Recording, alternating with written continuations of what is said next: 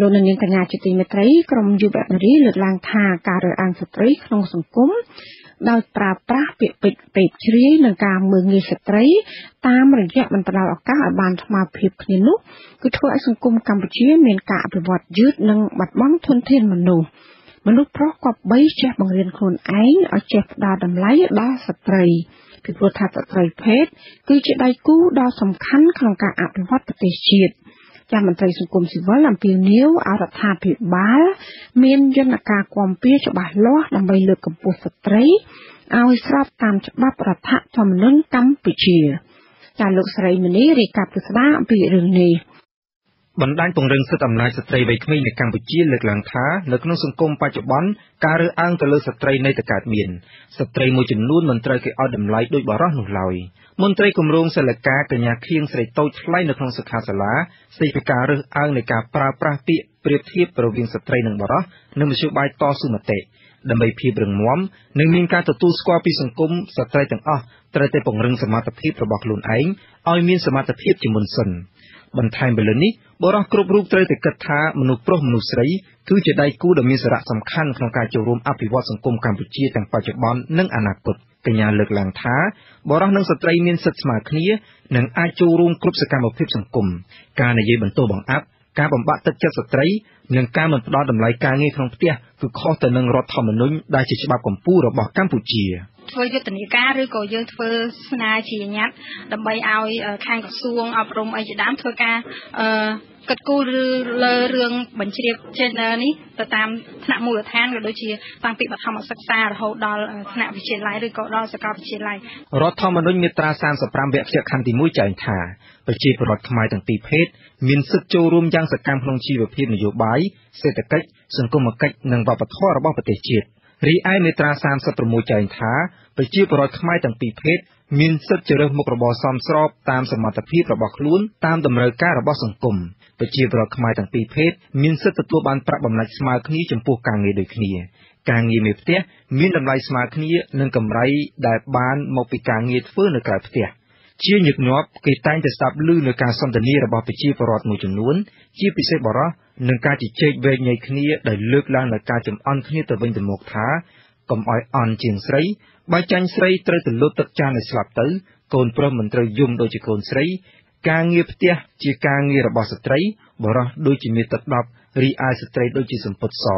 ស្ត្រីមិនត្រូវដើរឆ្ងាយដូចមនុស្សប្រុសជាដើម ជាអ្វីដែលក្រុមយុវជនស្ត្រីវ័យក្មេងយកមកជជែកគ្នានៅក្នុងសិក្ខាសាលាស្ដីពីការរើសអើងនៃការប្រៀបធៀបរវាងស្ត្រីនិងបុរសនៅមធ្យោបាយតស៊ូមតិនៅក្រុងភ្នំពេញ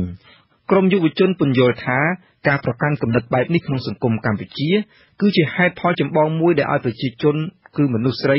និងមនុស្សប្រុសធ្វើការបែងចែកវណ្ណៈនិងគ្មានតម្លាភាពនោះទេ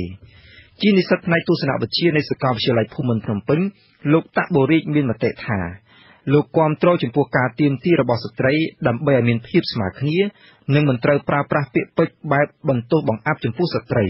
យុវជនទាំងអស់ត្រូវតែមានគំនិតសុទិដ្ឋិនិយមចំពោះស្ត្រីហើយតម្លៃរបស់ស្ត្រីនៅកម្ពុជាគឺផ្ដើមចេញពីការផ្ដល់តម្លៃរបស់មនុស្សប្រុសគ្រប់រូបប៉ុន្តែចំណុចខ្លះស្ត្រីក៏មិនគួរធ្វើខ្លួនឲ្យដូចមនុស្សប្រុសនោះទេ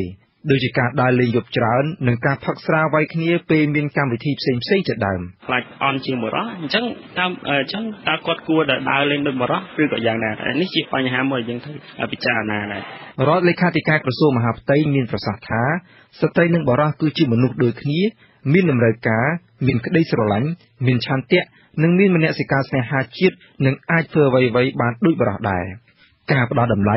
ការផ្ដល់ឱកាសឲ្យទទួលបានការងារក្នុងសង្គមមិនថាការងាររដ្ឋឬឯកជនប្រកបដោយសមធម៌ម្យ៉ាងវិញទៀតប្រជាជនកម្ពុជាអាចជៀសវាងការអនុវត្តប្រពៃណីនៃពាក្យពេចន៍មួយចំនួនដែលបង្អាក់និងរាំងស្ទះសន្ទុះនៃការតាំងចិត្តរបស់ស្ត្រីរឿងហ្នឹងស្ត្រីអាចធ្វើបានប៉ុន្តែដោយជាមករំលងហើយគិតថាមិនចាំបាច់ទេឬមើលថាគាត់ស្រីធ្វើមិនកើតទេគេហៅថាបរិយាវិនិច្ឆ័យអញ្ចឹងវាអត់អាចទៅរួចទេចា៎ អ្នកស្រីបន្តថាស្ត្រីនិងបុរសមានសិទ្ធិស្មើគ្នាដូចមានចែងក្នុងរដ្ឋធម្មនុញ្ញនៃព្រះរាជាណាចក្រកម្ពុជា អនុសញ្ញាស្តីពីសិទ្ធិមនុស្សនិងអនុសញ្ញាស្តីពីសិទ្ធិស្ត្រីរបាយការណ៍ក្រសួងកិច្ចការនារីបង្ហាញថា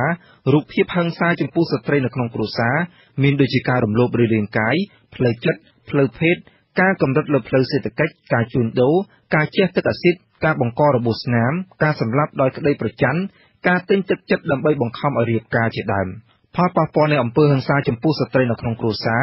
បានធ្វើឲ្យមានការធ្វើអត្តឃាតធ្វើឲ្យកូនបាត់បង់ភាពកក់ក្ដៅមិនមានលទ្ធភាពទៅសាលារៀនទៀងទាត់ស្ថានភាពគ្រួសារអាប់អួរធ្វើឲ្យបាត់បង់ការងារមានផលប៉ះពាល់ដល់ចំណូលបាត់បង់ទូនាទីការងារកិត្តិយសគ្រួសារនិងសុខភាពមិនល្អប្រសើរ របាយការណ៍ក្រសួងកិច្ចការនារីបង្ហាញទៀតថា ប្រជាពលរដ្ឋកម្ពុជាចាប់ពីការរហូតដល់ 24 ឆ្នាំ មានចំនួន 56%និងយុវជន មានចំនួន